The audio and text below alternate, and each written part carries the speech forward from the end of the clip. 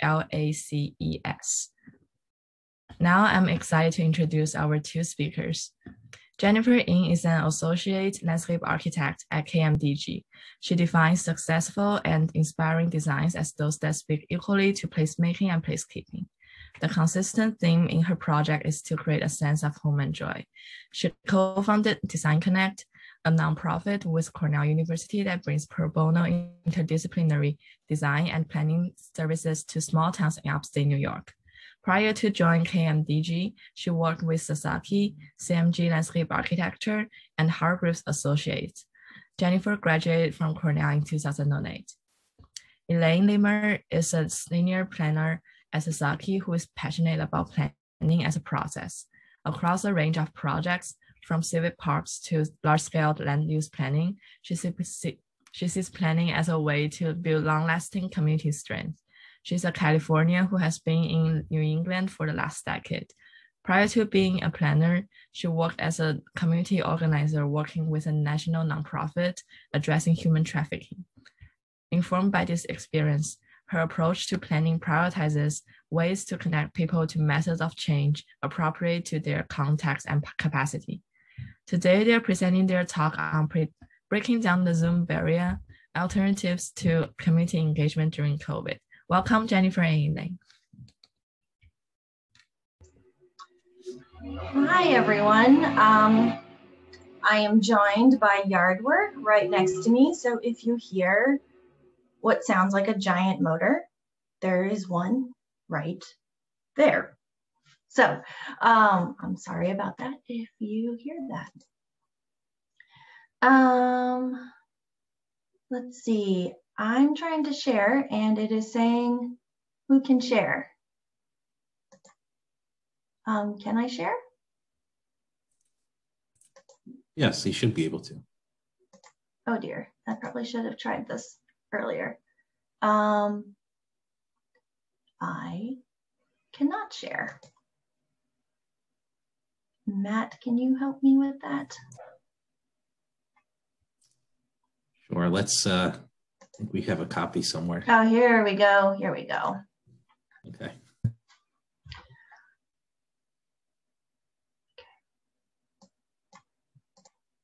All right, everyone can see that, Elaine and Cynthia?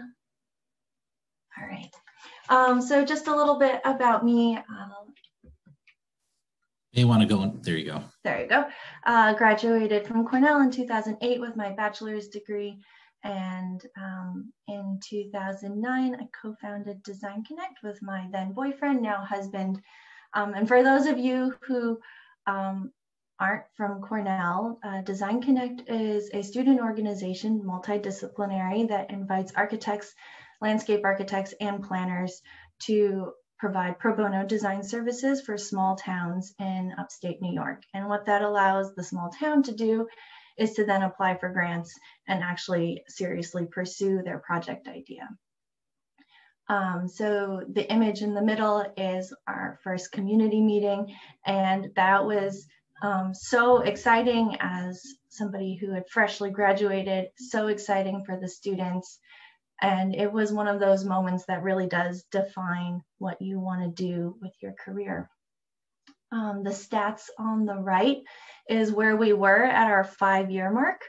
Uh, so within five years, we had logged 8,000 volunteer hours and worked with 290 students. And it is so exciting to see Design Connect in year 12. Um, and it's just a, a real joy to see students continue to work on it. So since Cornell, I went to Hargreaves in New York. I worked on the Denver Union Station. Then I moved to San Francisco, where I was at CMG, where I worked on Crissy Field, which is a national park, um, with the National Park Conservancy, and also Willie Woo Woo Wong Playground in San Francisco's Chinatown, and then Lakeview with Elaine and uh, Dennis, who I, I think is in the audience right now.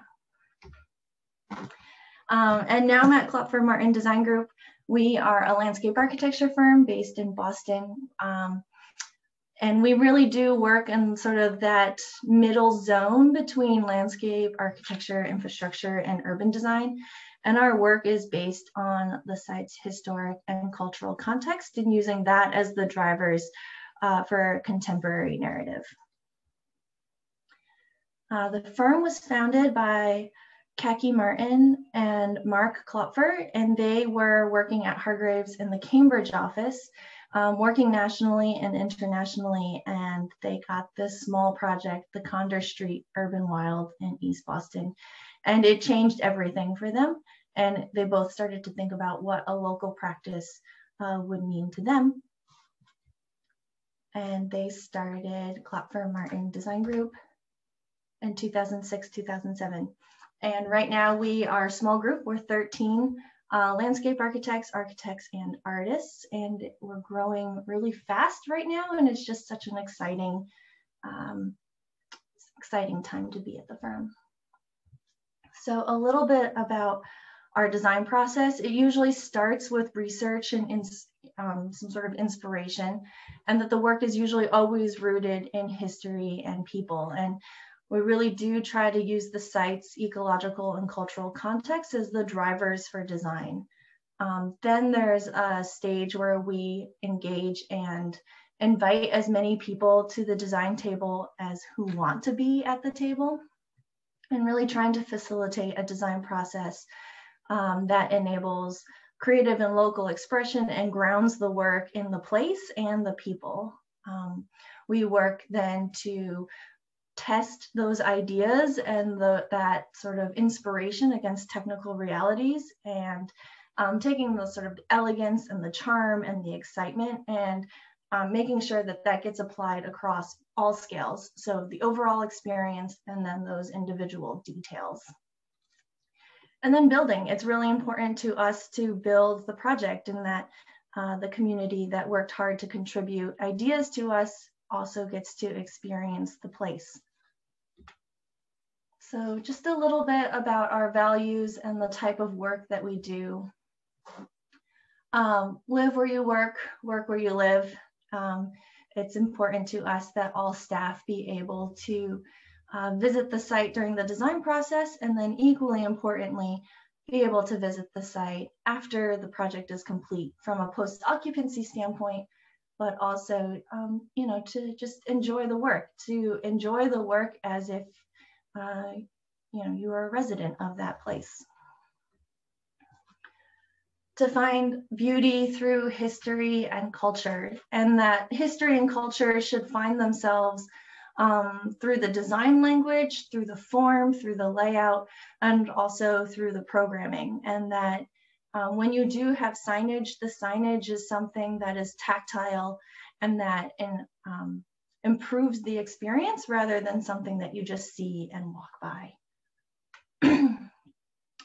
that we challenge the paradigm of play, and that play is something that is more than just for uh, kids between the ages of 5 and 12, and it's more than equipment play, it is spontaneous. Um, it is about fitness, it's sensory, it's constructive, and it's um, about a sense of adventure. That we integrate resilient strategies throughout the project, and that resiliency is not a coastal issue, it's also an inland issue too. It's not just about sea level rise, it's about how we handle our storm surges, how we think about stormwater management, and how we support and supplement our historic urban canopies with additional trees that we do more with less. A lot of our work is publicly funded, and that means that it's tax dollars that are creating the funds for our projects. And, and that really does mean something to us. And how can we reframe the ordinary into something that is extraordinary? And that we embrace public life. So this is Kennedy Plaza in Providence. It is a bus depot and um, how can you think about the plaza as a place that's for pedestrians um, and refocus um, the plaza and the energy on people rather than on buses. So it works in the everyday, and then it also works for moments of joy and moments for safe democratic protest. So I'm going to walk you through a case study. This is a project that we're currently working on. This is Grove Hall Park. um, in the Grove Hall neighborhood, right on the edge between Dorchester and Roxbury. And we're working on this with uh, Boston Parks and Recreation, and then Trust for Public Land is our nonprofit community uh, partner. So we joined this project in June, um, right at the height of the pandemic. So uh, playgrounds were closed and what we know as public recreation was closed, but we all knew that public space was becoming more and more important. And it was about a week after the killing of George Floyd. So this is a protest at Franklin Park, um, which is a few blocks away from our site and we couldn't we we we had to join this project and like really recognize what was happening in our world and that design couldn't be this like perfect little bubble anymore. It had to be something that was really addressing what was happening. And so just some stats for the grove hall that have kind of helped to inform what the engagement engagement strategy is going to be. So over 90% of Grove Hall identifies as Black or Hispanic. And we know that different ethnic groups, um, different cultures have different priorities with their open space. And so that is important when we think about um, the types of conversations we wanna have. Um, over 15% of the households in Grove Hall are linguistically isolated, which means that no one over age 14 speaks English fluently. Um, and the primary languages in Grove Hall are English, Spanish, and Cape Verdean Creole. Um, and what that means is that engagement can't be, um, you know, very verbally oriented. It needs to be something that's more graphic. It needs to be simple and clear and easily interpreted. Uh, there's a higher population, higher, um, there's 37% of the population lives below poverty line, which kind of implies to us that internet may not be as consistently accessible as it is in other parts of the city. Uh, there's a higher population of kids under 19 that live here. And one of the things that COVID has really taught us is that teenagers need a place to be outside um, that is theirs just as much as you know, a kid from the ages of two to five needs a tot lot, teenagers need a space as well. And that there's a lower than average uh, number of seniors in the neighborhood. But that's a little bit deceptive because we've realized there is a senior center across um, the street. And that senior center actually acts as a very active resource for seniors in the greater Roxbury and Dorchester neighborhoods. So just some quick GIS. Um, we know that the summers are getting hotter in this um, particular neighborhood and that there is some urban heat island effect. And what you don't see in this map as well, there is also combined um, sewer overflow events during storm surges. This is a little bit of an overview of what's going on in the neighborhood. Um, so the parks that are already there are mostly associated with schools. And then there's Franklin Park, which is a large city and regional draw. Um, so not a lot of like great neighborhood destinations, but a lot of community um, that's already happening. So there's a library, a senior center right across the street, and then a surprising number of mosques and churches just some other observations that we've made um, that the site is actually between two commercial districts and then again that the library is very active and the senior center is very active. And so how can we use those as ways to deepen our outreach and engagement? So the site is about an acre. You can see that there's a big chain link fence. It is like pretty open um, and, you know, we talk a lot about the historic and cultural ecological context, and this site is more of an open footprint than what we typically accept in our office, um, which feels very freeing, but it also has a very deep social memory. So this is the Grove Hall mural project, um, which is, you can see these murals from our site. Um, then there's also the Grove Hall Memory Project, which is housed in the library across the street. And that is a series of photographs and interviews that catalogs what the late 20th century experience was like for Grove Hall residents. Um, there's lots of community organizations. And what we realized is that this project actually started five years ago and that the community organized with Trust for Public Land to decide for themselves that they wanted a park, not more parking. So I tried to think about what the push and pull was between in-person engagement and remote engagement and kind of show you how it's been changing very rapidly over the last 18 months. And so pre-COVID, you know, typically a milestone was that we would get together for a workshop, maybe two or three hours in the evening on a weekday. And then there would be a survey um, that would be email blasted out and you could fill that out on your own time. Then COVID happens and we all go into quarantine. No one's meeting in person and Zoom webinars go way up and we do Zoom webinars and um, surveys that you can do on your own time. And at first there was a lot of enthusiasm for that, and then everyone got really Zoom tired. Um, and these sort of big webinars, the irony of talking about breaking the Zoom barrier is not lost on me, talking about it on a Zoom webinar with everyone, and I can't see you, and you can't talk to me, and uh, the ir irony is high on this one. But now we're in 2021 and we're getting vaccinated. Boston is entering their next phase of reopening, which means that 150 people can um, come together and gather outside um, with social distancing, but comfort levels are you know, kind of all across the spectrum. And even though the city is reopening, there's a lot of people who aren't um, totally comfortable with meeting. And so we need to think about what are those workshop techniques that we used to have pre-COVID and how do we uh, retrofit them to be more comfortable? So a two hour workshop on a Wednesday evening, we can't really do that anymore. Um, those workshops need to be more like six hours on a Saturday so you can come and go at your leisure, but you still get that in-person touch point. And then at the same time, we still need to do digital um, engagement. So still need to think about, all right, the Zoom webinar isn't giving us deep conversation. We're actually just getting superficial comments. And how do we, um, how do we get that deep conversation um, through the screen?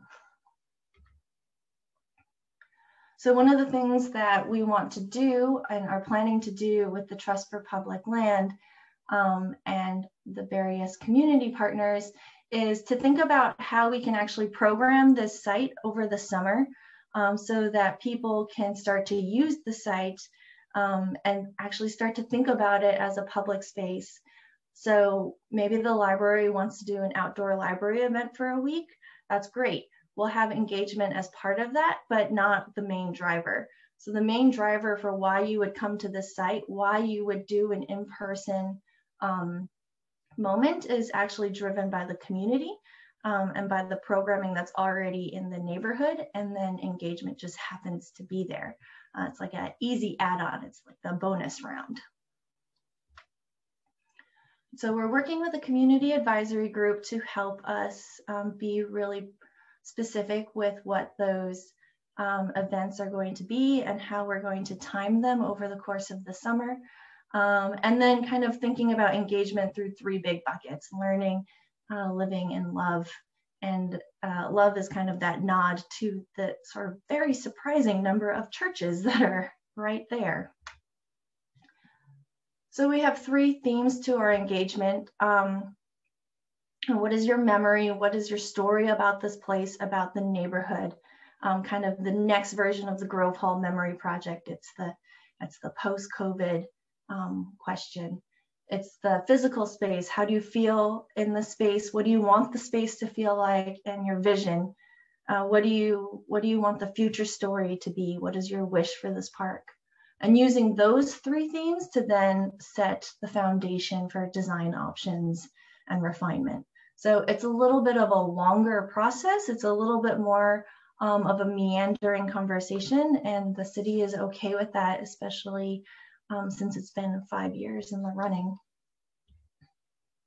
So just a summary of those principles of engagement that you create tactile and immediate feedback loops um, within each checkpoint. So um, you're not just looking at a screen and then logging off, that there's something more that resonates with you, um, that there's language support, um, that we're offering more than one way to participate and that you can participate off hours. So, right, how do we catch the young families who have evening routines? Um, that there's an incentive to come back, that we're as deep as possible in terms of the number of people that we're reaching, types of conversations we're having, and that we're building on the existing relationships um, and the existing conversations that have happened over the last five years. So these are just some examples of um, what we're talking about, what we're thinking of doing. So um, one idea is to do a postcard campaign. So as part of book pickup, um, you know, when you go to the library, you get book pickup at Boston, they give you a little receipt that goes into each book that says that you have reserved that book. Um, so why don't you also get a postcard that asks you a quick question or two? Um, the Senior Center also does a meal delivery program for seniors who don't feel comfortable leaving their homes.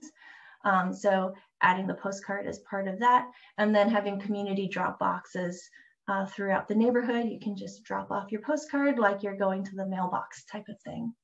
And then how can we use that content to then create a community mural along the fence? Um, and how can we create a sense of togetherness without actually being together? Um, we talked about how we have those deeper conversations on Zoom. So this is Providence Wayfinding. And over the summer, we specifically capped our Zoom meetings at 15 people so we can all see each other. Um, and then we led uh, these sort of mental mapping exercises where we asked people who were on the meeting to sketch and draw for us without a base map so they weren't sort of confined to place. And then we they physically old school just put it up to the camera and start talking about it.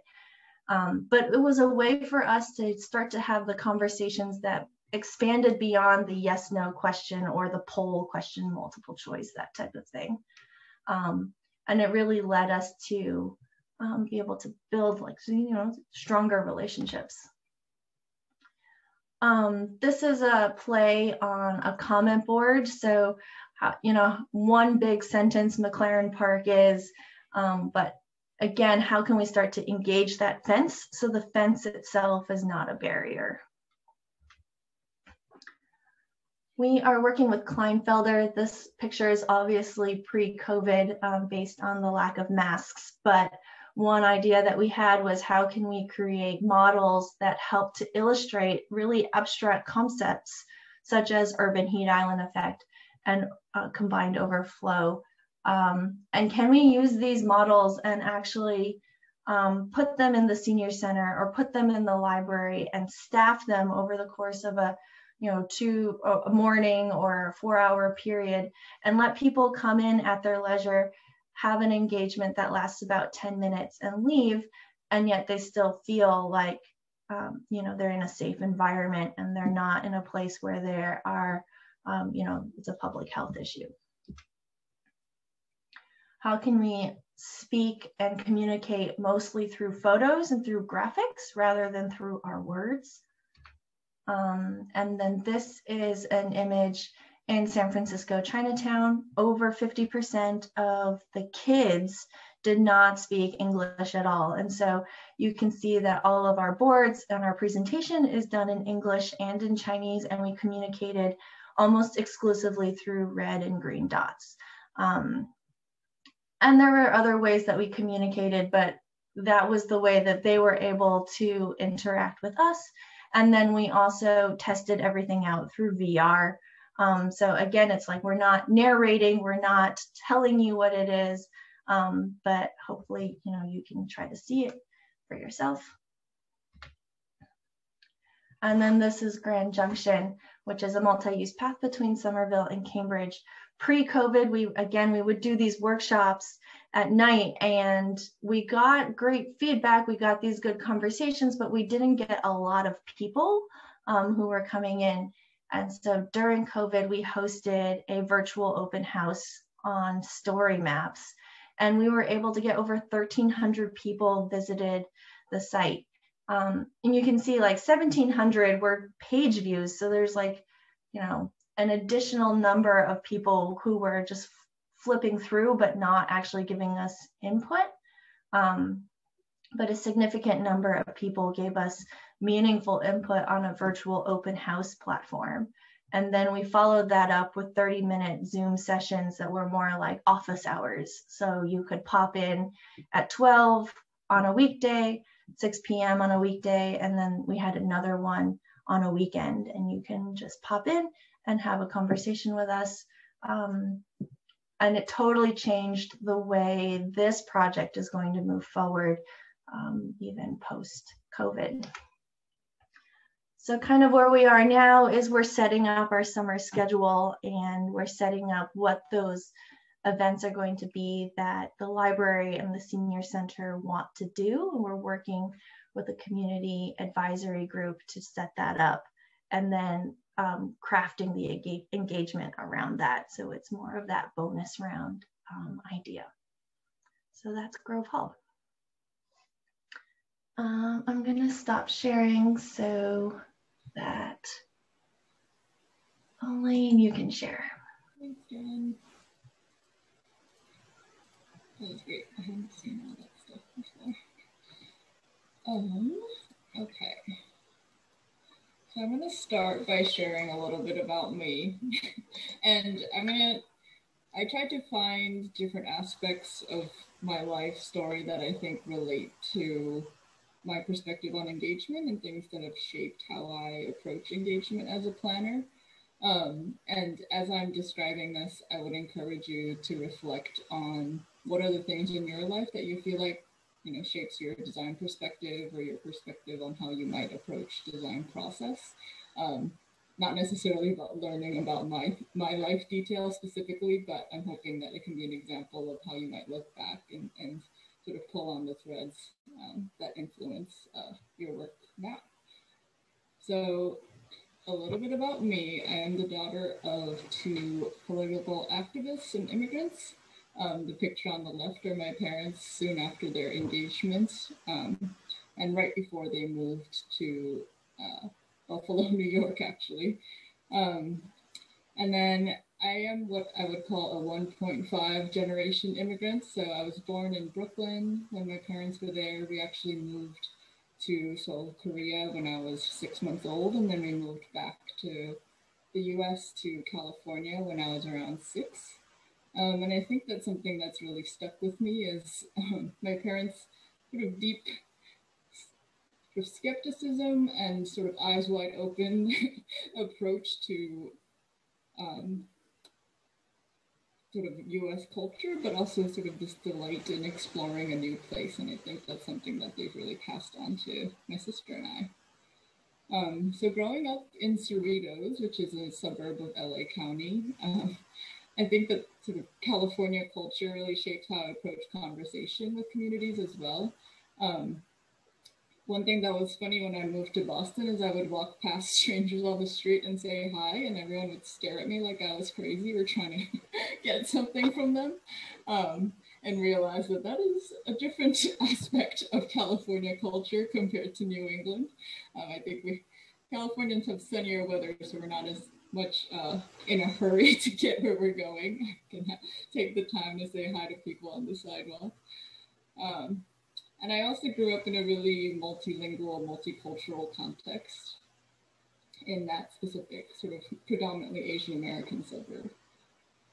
Um, you're probably wondering why I have a pic blurry picture of two gnomes playing cards.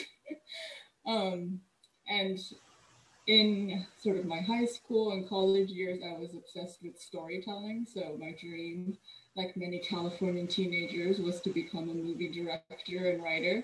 And so that was sort of the thing that I explored before I discovered planning is how do I tell stories? How do I convey emotion um, and tell something whimsical um, in a way that's universally relatable? Um, this terrible movie is buried on YouTube somewhere. I should probably take it off. Um, in my college years, I studied sociology um, and graphic design, which I think has really shaped the way I think about planning today. Um, this particular French sociologist, Pierre Bourdieu, has this phrase called sociology is a martial art, and it comes in handy um, as a way to kind of capture being able to create an analysis and understanding of the structural system will also will actually allow you allow you to sort of put individual conversations and personal comments into a broader context so that you can understand them better. Um, after college, I worked for an anti-human trafficking organization called Love146 based out of New Haven, Connecticut. Um, so for a few years, much of my life was standing at a table at different events in different cities across the US, sort of just talking to strangers about anti-trafficking and what people could do.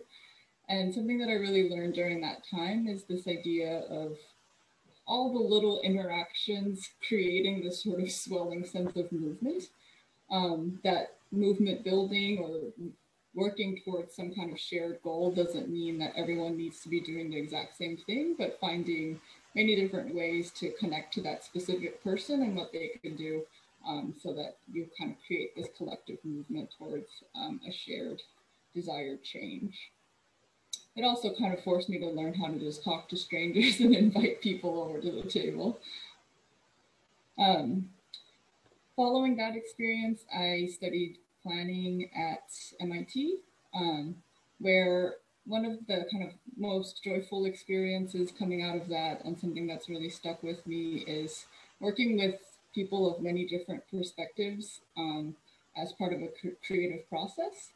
Um, with a planning program, people are coming from all kinds of different backgrounds here. There's architects and designers um, that are moving into planning, but also people who were working in housing or engineering or um, nonprofit organizing. And so as we sort of all came together to, to learn about this physical planning and, and design process, I think it really forced um, discovering like how different perspectives actually can come together um, to shape a creative idea. So that kind of thinking and experience um, and valuing that experience led me to Sasaki, where I work as a planner today. Um, so I'll just give a very brief introduction of the firm. Um, Sasaki is located in Boston, Denver, and Shanghai with a majority of the office in um, what will now be downtown Boston office. Um, it's a group of around 300 of us. I think you can also spot Jen in this photo. I'm not sure if you were still there, Jen. um, and probably have to look way in the back. you can also spot Jordan and Dennis who are in the audience. um, but it's a firm that's sort of at its core, and the thing that I love the most about it is that it is interdisciplinary. There's you know, architects, landscape architects, planners, engineers, researchers, um, software developers, graphic designers, um, and having all those different kind of perspectives under the same roof, I think is what really shapes um, the philosophy of a lot of the work that we do. So I'm gonna, you know, as a way to illustrate the sort of variety of work that Sasaki does, I'm just gonna share a couple of the projects um, as like a sampling. So so Sasaki does big scale um, community master plans. This is one outside of Toronto on a brownfield site. Um, we do um, large scale parks master planning and implementation. For example, this one in near the Port of Los Angeles.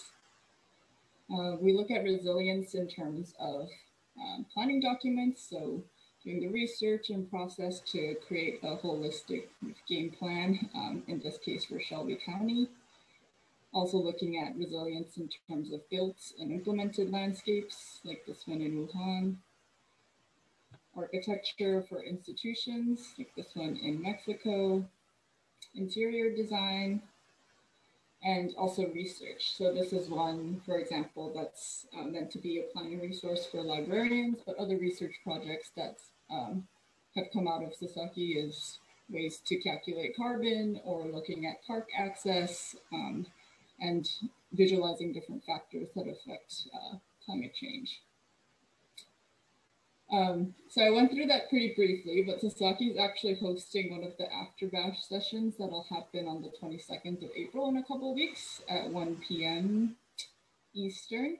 So be sure to check that out. A couple of my colleagues will be giving a much deeper kind of explanation of the firm and, and um, answering questions there.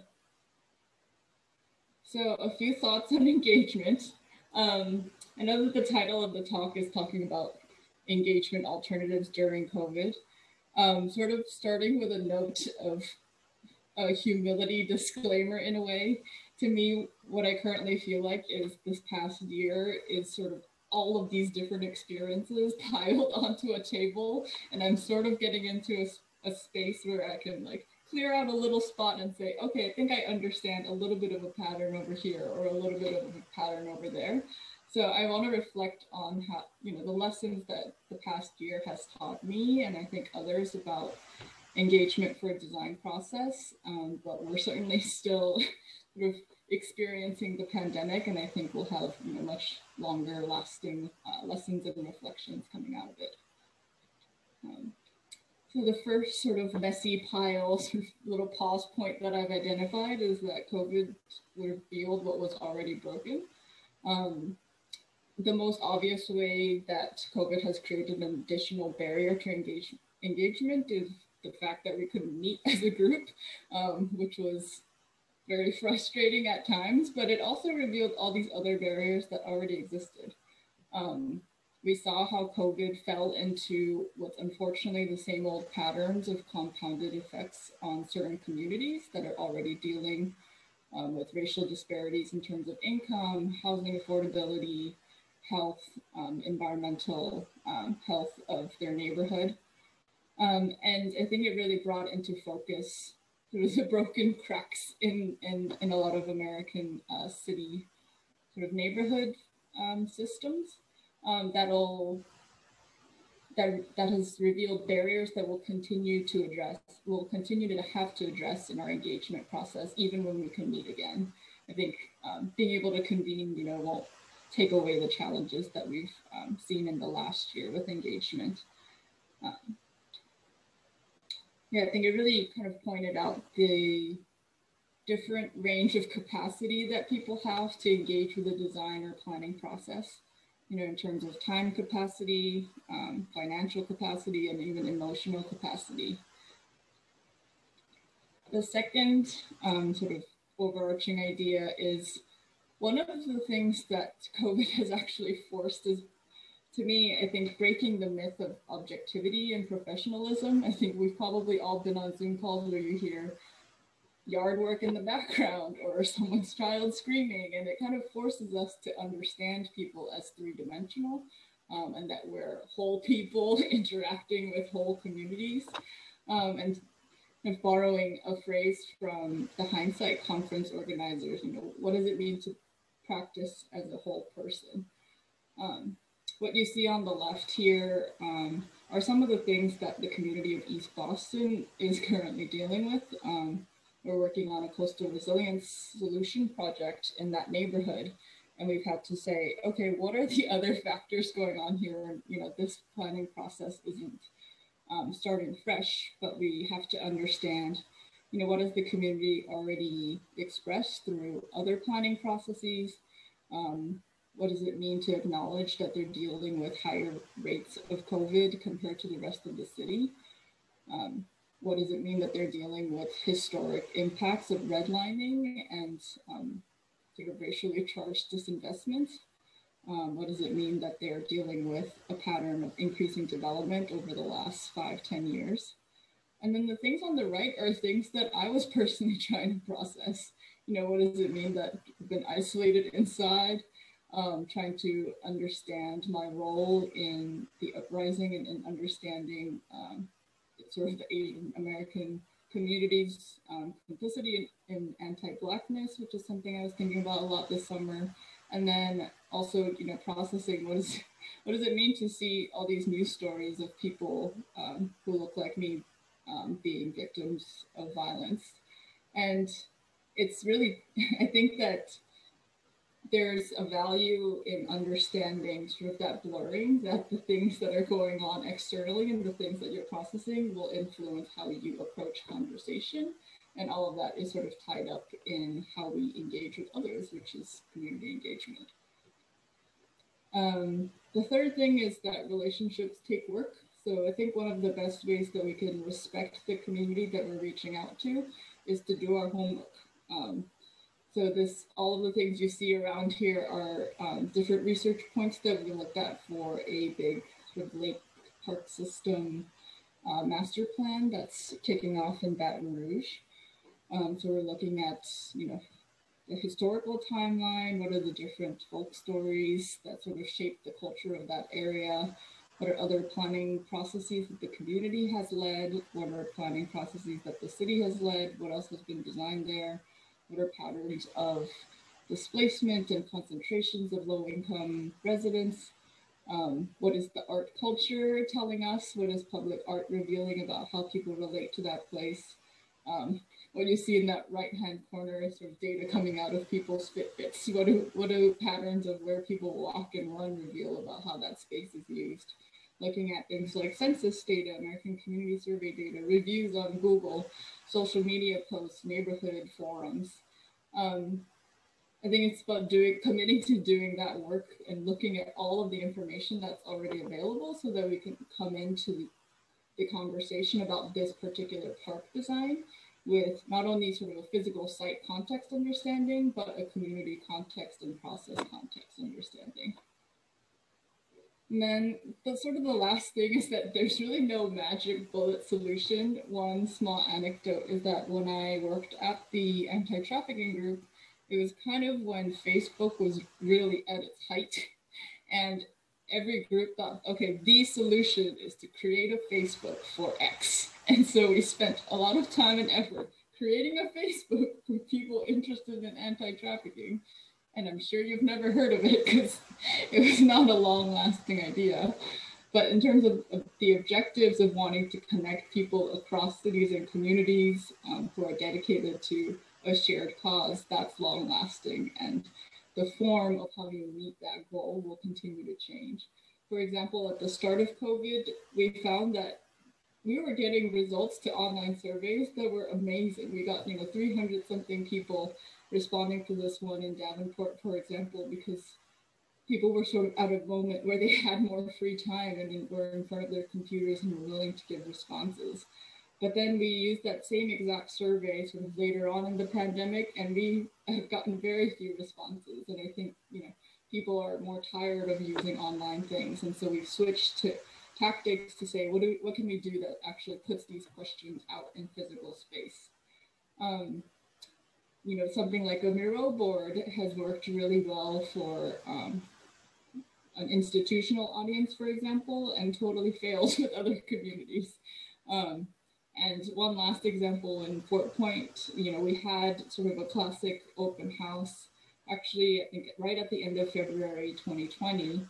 Um, and looking at who showed up, we found that um, there were a lot of, it was very underrepresented in terms of families of color and, and uh, residents of South Boston. And so we worked with one of the existing community organizations there to host a Zoom call that actually allowed people to participate with their children.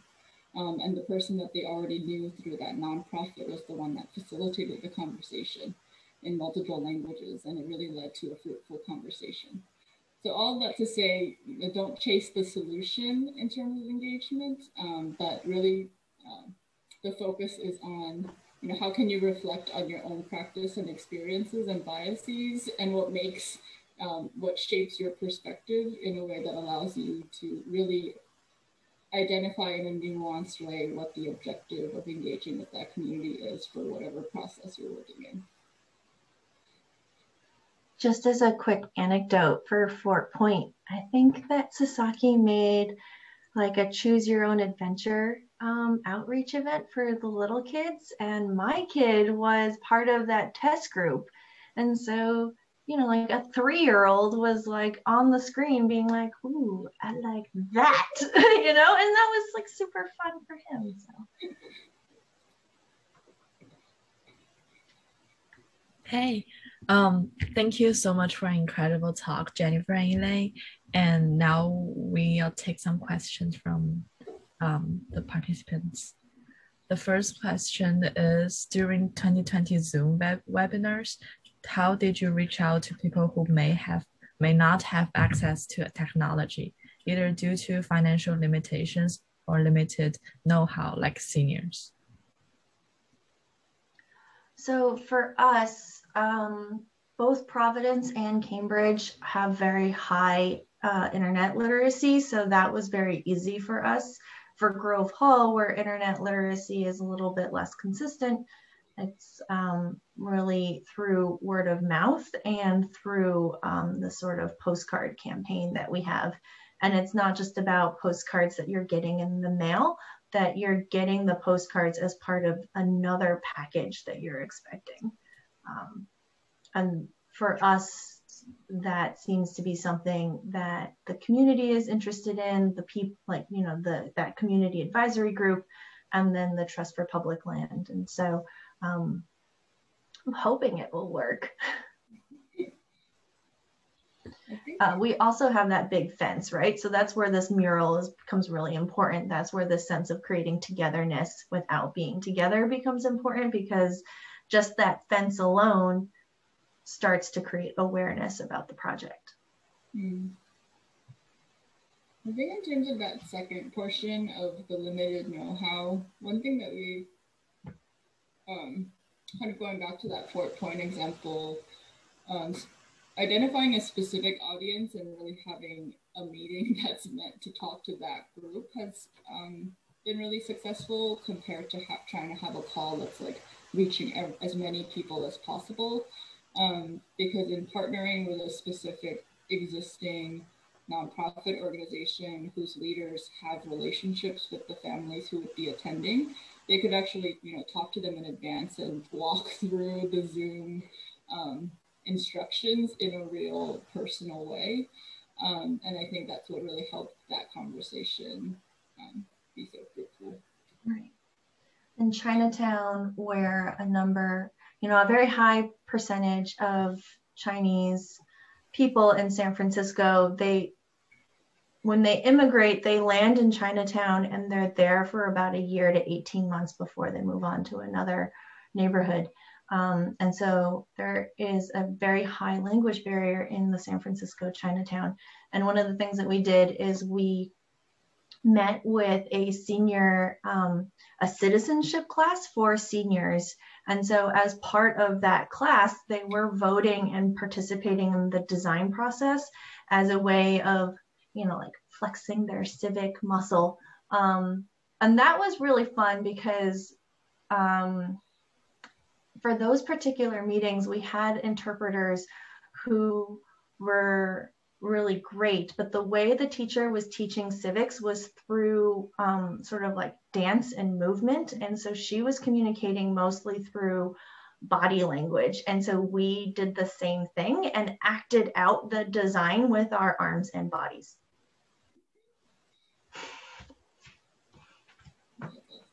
Oh, wow that's really that's really brilliant. That's what i can say. It was super fun. Being that's being an fun. old student of improv it like really took took me back to my improv days. Okay we have another one that i, I can personally really um, connect to because uh, it's about design connect. Um, dom asked Design Connect does really good, great job and is still running strong at Cornell, but it's still an extracurricular and an additive experience that supplements the traditional design education that doesn't put much um, emphasis on engagement. Do you think there are ways to incorporate engagement within design studios, or is it problematic to engage communities just for our own education without much produced besides student designs proposals and designs without funding. So design engagement as part of design studios is really tricky because design studios, at least you know on the semester program, you've got 12 weeks to do the project. And design engagement takes much longer than 12 weeks. Um, and so like, how do you really have an authentic process?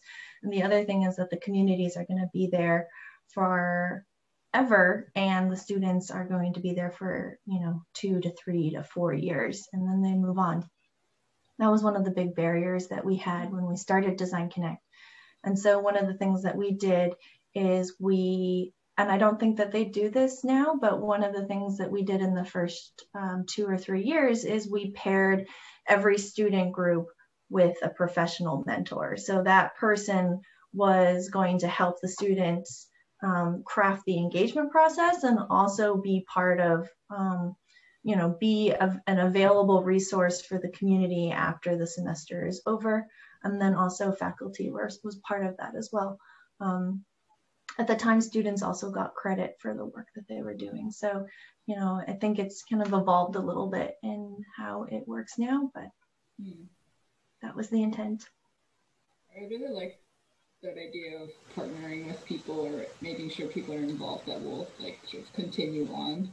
I wonder if another aspect of it could be to ask the question of like what can design studios offer to the community in that shorter time period of connecting?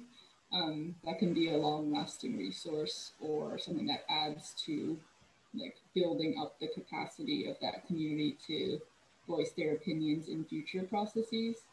Um, whether, you know, that could be something like creating a mapping in a, in a form that can be passed on to a community member to continue to update or creating something visual. Um, the, the Center for Urban Pedagogy out of New York does some incredible work expressing you know, what can be really opaque um, planning processes um, in a way that's really friendly so that you're really empower community members with the knowledge of how does, you know, the housing process work or how does the process of like, final design approval for a park work um, so that it, um, it actually enables people to be able to um, participate in projects that may not be um, related to a student studio.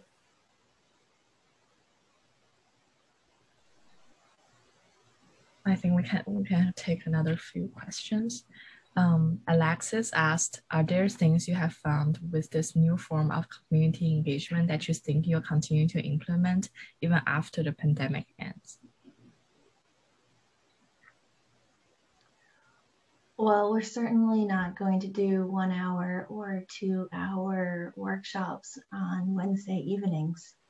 Um, you know, I think that it's going to be something that is going to, um, you know, be on the weekends and be open for much longer periods of time, right? So we're not getting a hundred people in a room and we're doing a presentation and then a couple of exercises. It's going to be something more where the information is provided ahead of time and then you come to the exercise or you come um, and you get the information asynchronously asynchronously at that point and then do the exercise. Um, it's going to be le- much less lecture format. Mm. yeah. I agree with the asynchronous thing. Um, something that I uh, been observing in terms of not engagement in terms of a design project, but in terms of how cities have figured out how to engage with the community in getting out critical information and updates about COVID are things that we can also learn from. Um, you know, when there was something where people like people needed to get the word out in a really quick turnaround in multiple languages and different locations, where it was something that everyone could agree everyone needed to know about. Like it's really fascinating to see that city infrastructure and community infrastructure sort of create itself over the last year. Like everywhere you walk around in Boston, you see like different signs talking about distancing and information about like health health clinics and all this stuff. And I think we can sort of borrow some of that thinking when we you know are in a place of saying there's a neighborhood plan like if we could get into that same mindset of like a neighborhood plan is something that affects everyone and we accept that it's like a critical piece of information that needs to get to every audience then like having it be multilingual and paper and digital that's not stuff that's like can be um, sacrificed because it's too inconvenient or costs too much. But I think um, there's a lot of lessons you can learn in terms of how COVID information was distributed um, that we can apply to uh, projects in the future. Yeah, I mean, I think information is getting much more succinct too, right? That, um, you know, one of the things that we had thought about for one of our projects was to do a series of one minute Instagram stories as a way of getting base context information out and kind of leading, asking people to do sort of self led, self guided tours of a site. Um, and not having a real presentation, but using sort of Instagram and social media. Again, the audience was much more um, sort of internet savvy, but um, you know, really condensing that information so it's never a 60 minute Zoom meeting. We're really anti Zoom here. We're like really trying ways to make it really a different type of experience. and we're still using Zoom for this webinar. I know the irony is is very you know. Yeah, um, I think we can squeeze in another question. Um, Nicole asked, while we are starting the transition out of completely online interactions, as you mentioned, many people are not still not comfortable with in-person events and many are experiencing online fatigue. How do you suggest combating online survey, online interaction, uh, Zoom exhaustion in terms of community engagement?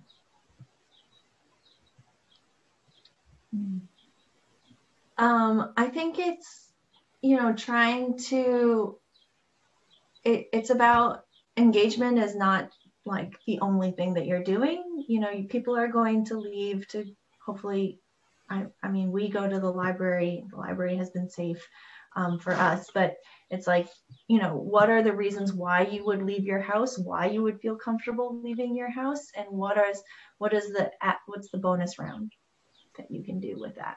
Mm. I think something. I mean, this is true of non-online forms of engagement as well, but I think is especially true of online because there's such a fatigue with it.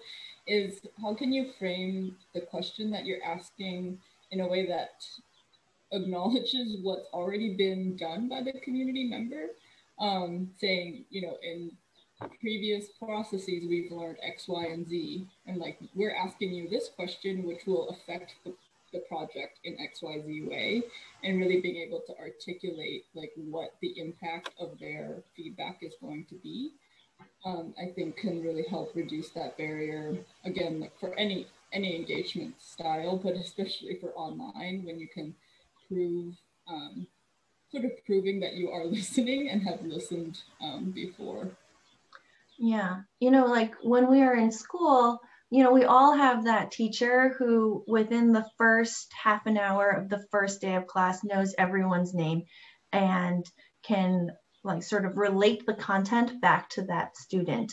Um, and so, how can we do that in Zoom? And so, it's also about limiting the size. So it's more of that 15 person range where we can all see each other and we can, um, you know, sort of mimic those in person conversations where I hear you, Cynthia, and I, um, you know, I know that you are an MLA student and I'm going to sort of relate the content back to how your background is, you know, what is interesting to you.